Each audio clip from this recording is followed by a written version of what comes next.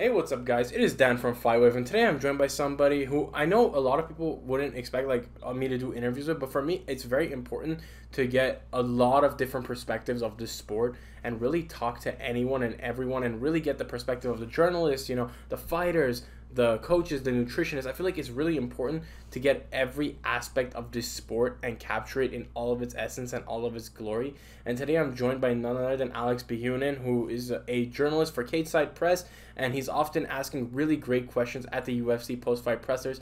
Really an underrated journalist, in my opinion. First and foremost, Alex, how are you doing today? I'm good, man. I'm good. Thank you for having me. Thank you for asking to um, have me on, man. Uh, I've been we've been um, friends for for a couple years now, so I'm, I'm glad we finally get to talk. I talk talk on camera. No, yeah, absolutely, and obviously, Alex.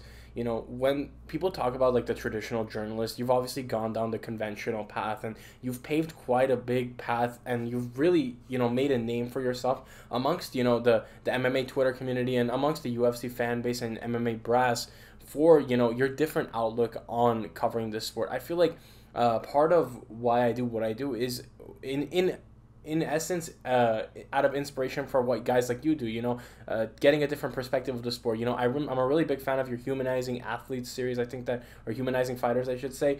And i think that what you do there and really bringing a different perspective and getting to know a little bit more about the fighter uh, it really makes you stand out as a journalist. So talk to me obviously about uh, first and foremost any projects how's life and you know just uh, what kind of is your ambitions with the journalism because I think with you we really do get a fresh perspective for those guys that have kind of gone the grassroots route and paved the way for other people to do this. Yeah, so there was a lot there, man. Uh, thank you for thank you for the kind words, man. Um, yeah, um, the funny thing about the humanizing athletes, man, was um, I just I started that because I I, I'm, I'm always curious on like what somebody's favorite movie is, right? Like that's that, that's that's kind of like I love movies and, and MMA. Like that's those are like my two things. And so like whenever I meet somebody, I want I, I always want to talk movies with them. So I kind of just was like at first I just wanted to be like what if what what is a fire's favorite movie? And then from there it kind of was just like I just kind of just started going like well let's just find out more about him because to me um, when I was coming up I was told I mean even through journalism school, like at first, I my original goal is I wanted to do movies and television, like be media in there, and then I quickly found out that Hollywood is just full of weirdos, and um, they're just not the people that just don't relate with, and so um, so when I went, so when I changed gears and went with MMA, man, it was um, I I I look at the sport differently, and um, I personally want to know about the fighter themselves. Like, I don't give a shit about their training camp. I don't care about what they're doing in the, in the next fight. Like, there's people that have covered the sport for 20, 20, 30 years that have the analyst side of it down, like down. And like, I'm not an analyst. I'm not a fight analyst. I'm not a fighter analyst. Like, I want to know personally. I'm, I'm a storyteller first and foremost.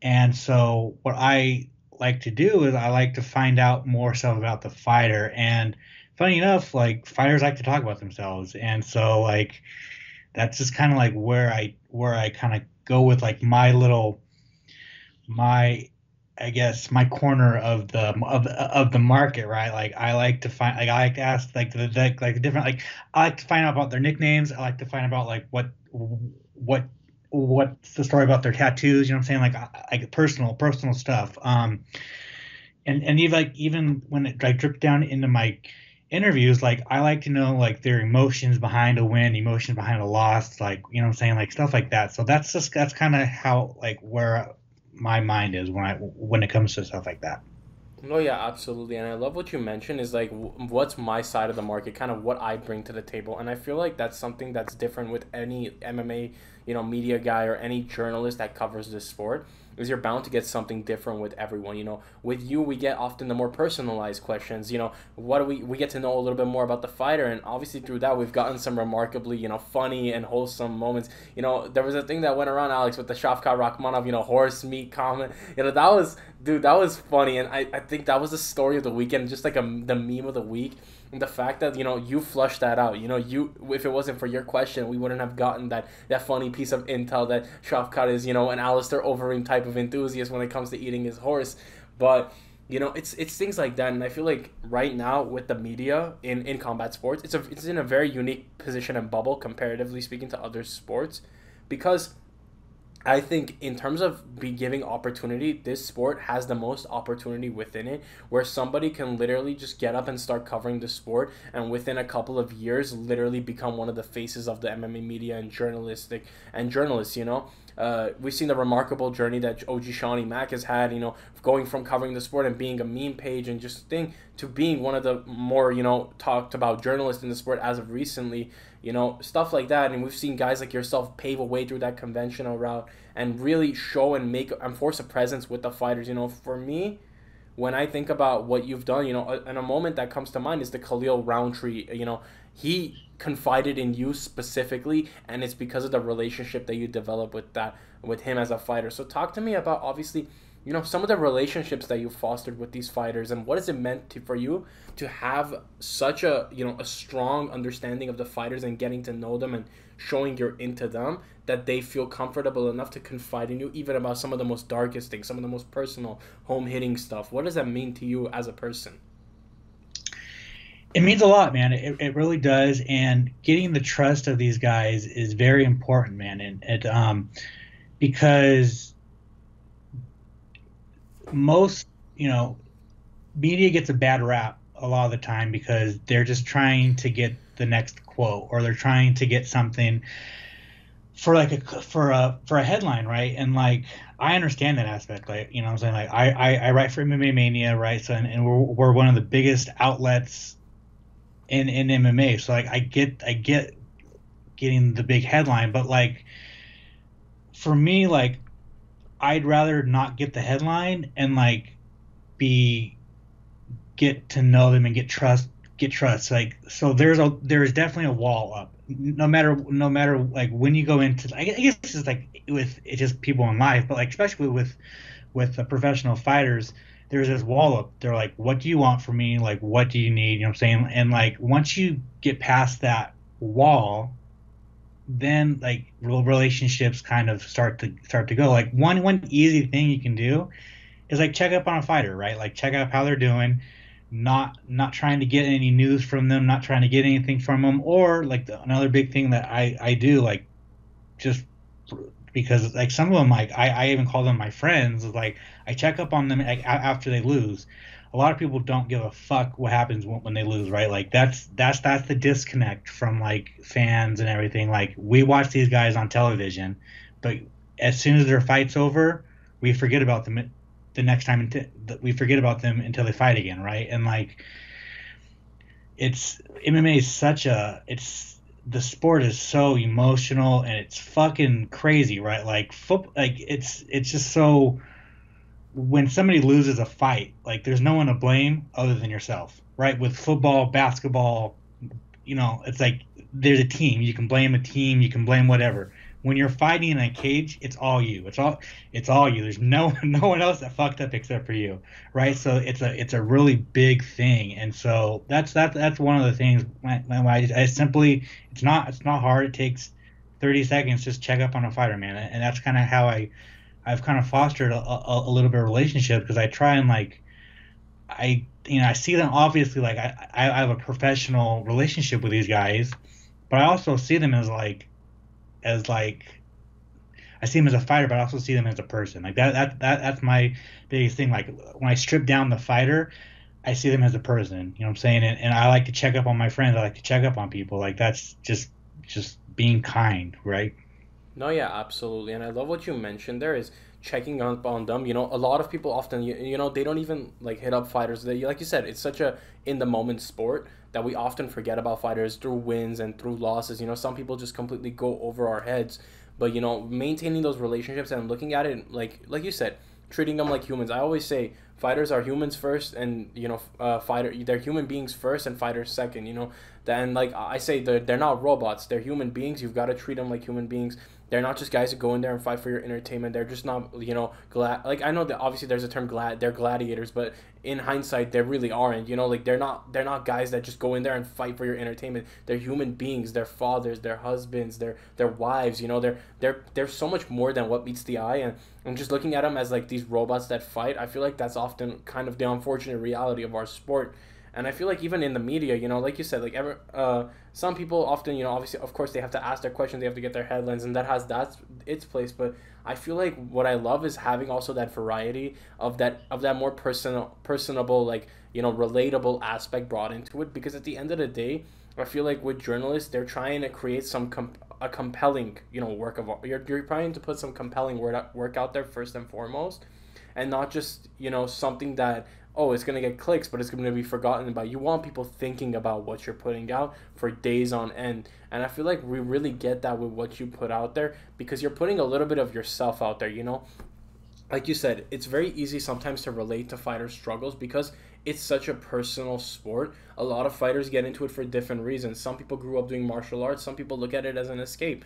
But for us, you know, as fans or as, you know, media or as, you know, guys who are in the sport covering it or watching it, we relate to these fighters on another level, you know, whether it's through our own personal adversities or endeavors. And we bring a little piece of ourselves into these interviews, you know, me and you included, you know, whether it was getting bullied, whether it was, you know, having adversities or struggles or, you know, just any sort of adversity we bring that you know personable aspect into the into the interviews and we always try to incorporate that. So i guess like i want i say for myself you know looking at you it's like first time proof and inspiration of you know perseverance meeting uh, opportunity and you really bringing that into every interview that you do. What has it meant for you to have this this outlet and have this opportunity to be able to to bring some of your own you know i guess like how do i say like the best way to put it is how does it feel for you to be able to bring some of your your lessons your learnings into your interviews and be able to bring the best out of the fighters through your personal experiences?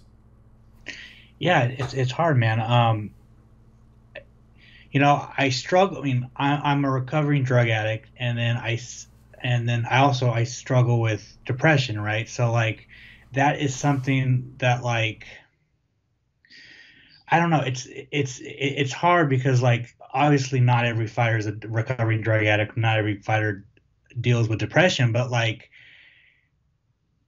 when you break it down to like like you said, like when you break it down to like the bare minimum, like it's a human on human basis, right? And like that's what what like that's what I try to do is to break them down into a human being. Like that's like that's just like the main my main focus on a thing, right? And so like I've dealt with loss, I've dealt with whatever, and like that's what that's like the first getting getting getting fighters to relate to that or you're even get, getting your audience to relate to that. Like that's that, that's like tying tying the relatability to it because like you said, bro, like fires are a it's not everyone's gonna fight in a cage. You know what I'm saying? So like it's very very hard for people to relate to it, and everyone thinks that they're a they're a couch uh, like a, uh, what is it like a armchair couch kind of quarterback right where they they think they know everything but like they don't, man. And and and um, like going going, I, I like to go watch sparring Tuesdays and Thursdays at Extreme Couture, and um, being in there um, and seeing what these guys go through, um, it's very very eye opening. And there's a big big big disconnect from fans to fighters. Like, bringing it right back to what we said before, like people watch them on television, they watch them fight, and then that's it. They they win lose. They that's it, right? And then or and then they forget about them until something happens on social media or the fight announcement or they fight again.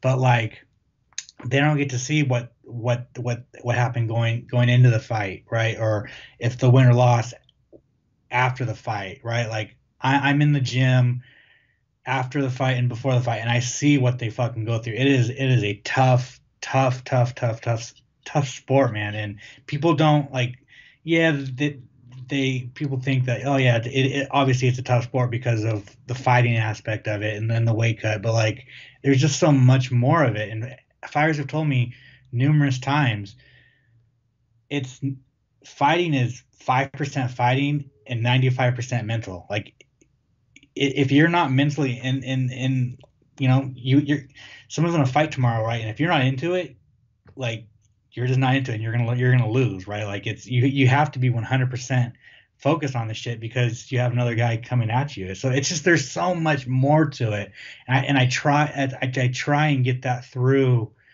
to people like through my through my interviews or through my little tidbits like that's what i try and that's why I, I, try and build this bridge, build this bridge for, for, for, for people to understand because there's this bridge that's like fucking broken between the fighters and fans, you know, like it, it's crazy. No, yeah, absolutely. And like you said, it's about, you know, connecting that bridge together and trying to create that environment. And I feel like through the new age, I guess like what people are donning the new age of media, a new age of mixed martial arts media, we're able to bring a little bit more of that out. You know, the definition of what it is to be a you know someone covering a sport or being a journalist, comparing it even to ten years ago, five years ago, has changed so much drastically through the age of social media. And you know, we're getting people from all different walks of life coming into the sport and covering it. It's not just this professionalism, professionalism first, you know, uh, relatability second culture anymore. I feel like we're really bringing quality conversation and really bringing that human condition really back into journalism and what, what it means to become a journalist. So I want to ask you, you know, just to wrap things up, and Alex, I thank you so much first and foremost for being open with us. You know, a lot of this dialogue I love to have is about being open and really getting different perspective. You know, because oftentimes I feel like you know whether it's being persecuted by uh, you know higher ups and or you know being persecuted by people who have a bad impression of the media you know, it's it's up to guys like us or, and guys like yourself, you know, who are at the forefront, at the helm, you know, and really changing that culture and that's and that stigma behind fighters getting in, a, in an interview with us and you know they i feel like first and foremost that skepticism comes from years and years of of mistrust and you know mis mismanagement mislabeling and you know bad circumstances that surround doing media. And it's up to guys like yourself and me to you know really change that stigma. So i guess just to wrap things up what are your honest thoughts on this new wave? You know, guys like Ben the Bane Davis, guys like McMally MMA, guys like McGregor Rousey, you know, myself, you know, Full Violence, Brawler Bible, you know, all these different pages and you know new new age outlets and brands and and personalities that are coming up in this sport, and yourself included. You know, uh, a lot of you know like the guys, and I, I I hate to bring up you know the age, but I feel like in that in that mid thirties to now to like younger it's it's such a different thing comparatively speaking to, to journalists in their 40s 50s 60s guys that grow grew up covering sports like the like basketball soccer uh, football you know? For us coming up in, in like this new wave from like i want to say like 40 and younger it's such a different perspective such a different environment. So what are your thoughts on like the new age of of mixed martial arts coverage? Yeah it's it's it's tough. It's it, it's it's interesting. Um like uh, jur- the being called a journalist is a, it's a very loo- loose term because um, like I have a journalism I have a journalism degree. I went to school for journalism. Like it's right up on the wall right there. Um, but like I, I don't even like really consider myself a journalist journalist, right? Like I'm I, I'm a reporter that does journalistic things, right? Um, and so when when like so when so yeah, so there's that, and then I don't know the, the this new age of, of there's no there's no denying that like social media is the future, and um, social social media is such a it's such a very it's a, such a important and powerful tool in 2023. Um, but like you know, on, to to like I, I don't think a, a lot of these Instagram pages are media. They're not like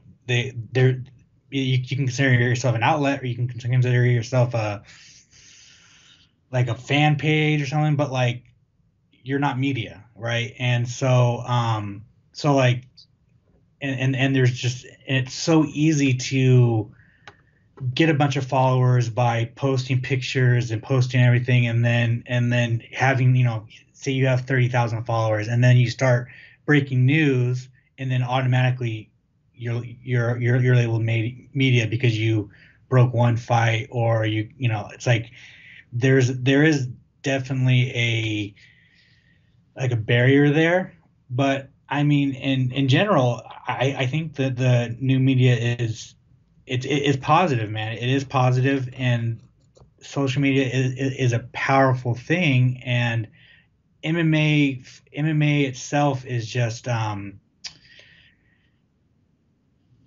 it's so easy to get hold of, to, to get a hold of these fighters, right? So that's that's what makes it so um, that that that's what makes it so it like muddies the water, right? Like if you you don't see it in in in in, in the NFL, right? Because the the NFL players are behind agents and the NFL and teams and agents and PR and everything like so like you don't see a lot of NFL Instagram pages that like think that they're media or like the, like this new thing. Like there's like Adam Rapp, Rapoport right? And then there's like a few other ones you can name them there's like four four or five right? But like because of, because MMA fighters are so easy to get hold of and it's it's still wild wild west. Like really it really really is. Like the sport's barely turning 30 years old this this in, in a couple in a couple months really. And so like there's no book that really explains like what it is to be a journalist what it is to be a media uh, how to conduct how to do this right like that's why there's so many people you see like you know like a Bellator or PFL you see so many quote unquote journalists like go over there, but they but they make a fool out of themselves because they don't know what the fuck they're doing. They they, they get they get credentialed and they're taking pictures with fighters or or they're cheering for a fighter like. So like it gives it, that's why it's so hard to get credentialed by the UFC because like the UFC don't play that shit. Like you have to be with a very with a with an outlet that that's approved, right? Like I don't know. I, I'm I'm I'm kind of rambling, but the, the, the long short answer is I think the new media is very it's it's it's it, it is refreshing. It, it is it is refreshing, but like I, I don't even think Mac Mac Malley would would call himself media. Like he's not. He, he's a he's a he's media when it comes to like karate combat, but like he's just a big UFC fan. Like Ben, he's media, but like he's a play by play announcer. You know what I'm saying? So like it's like it's like different lanes. You know what I'm saying? Like super fan. Um, he's not media. He's a super fan, you know. So, but like, but they have, but they have a big audience that they have a lot. So they have a they have a big voice, which is very and it's and it's refreshing. No, yeah, definitely. I love what you mentioned. It's like a powerful tool towards improving the sport. But obviously, like you said, like even myself, I consider myself a fan first. You know, I don't like to. I feel like for me, especially as a student right now, going to school, like it's like if somebody goes to, you know, like decides to be kind of like a science whiz in their like you know in their like garage or something and then all of a sudden they want to call themselves an engineer you know like it's it's like that. It's it's it's about paying respect to the about paying respect to kind of like the merits behind what it is to become a journalist. And i feel like that like you said it's it's become a little lost you know? And even me doing all of these interviews and stuff like for me it's more about for me i do it for me like to get the perspective you know? Like I feel like it's it's it's a very powerful tool towards improving yourself as a person and just giving other people, you know, content. Like I call myself a content creator, you know, like I like I like creating content. Like I feel like that's a more appropriate term, but I think for like you said, for more for what it's worth for more or less, this new age of social media has really improved what it's like to get coverage on the sport. It's really brought the sport to a whole new light. But like you said, with the UFC, it's very difficult. Like even ourselves, you know, not a not a big publication by any means. We don't have a site, you know. We just have the Instagram and the YouTube.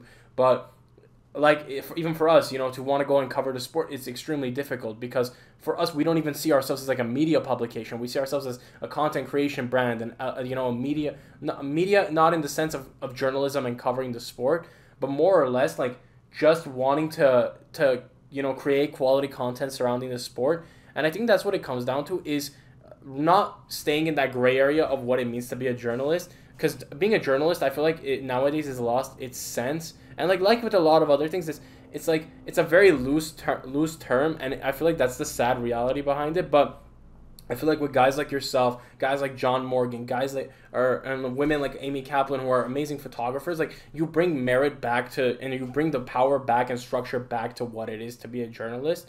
But like you said, for for all that it's worth, it's done big things for the sport. I just wish a little bit more of that, you know, like a little bit more of that respect and homage to what it really means was applied towards it. But you know, like you said, at the end of the day, better better to have these people in the sport than to have no coverage at all, and you know, just have nothing really going for the sport in terms of coverage. But you know, it's it's conversations like this that are able to open that door a little bit and create a little bit more perspective. So I thank you so much, Alex, for your time. It's been an honor to speak with you and finally get this, you know, this conversation done. You know, it's been a year or two in the making, just busy schedules, but I truly do appreciate you and just getting that perspective from you. And and you know, I can apply this towards my interviews or something like that it's all about the perspective for me at the end of the day. And I mean, to the fans at home watching, do be sure to check out Alex Behunin on so on social media and just check him out on Instagram. Obviously, with the Humanizing Fighters series, it's a really great series. I, I highly recommend you guys check it out when it does drop. And you know, uh, if you guys enjoyed this interview, do be sure to like, comment, subscribe. It's been me, Dan from Fight Wave, guys, signing out.